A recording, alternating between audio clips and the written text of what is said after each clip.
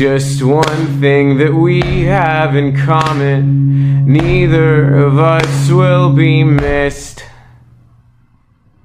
St. Bernard sits at the top of the driveway. You always said how you loved dogs.